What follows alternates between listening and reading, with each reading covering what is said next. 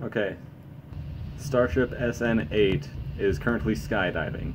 I thought I'd record my reaction just in case I go crazy or something. Falling horizontal. Looks like it's getting close to the ground now. I can see the ground coming in. 625.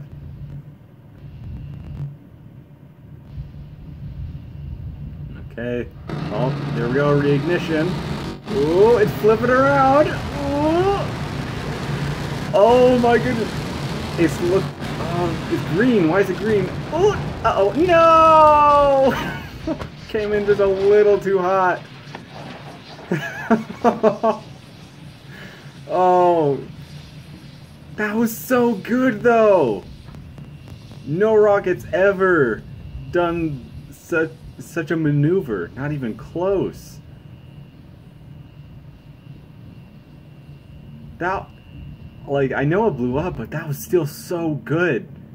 If they obviously they don't have anything else to test the the flip maneuver with, so ah, they were so close. I feel like if they would have accomplished their flip and been coming down like 10 or 20 feet earlier, it was so close. I feel like then they could have gotten it.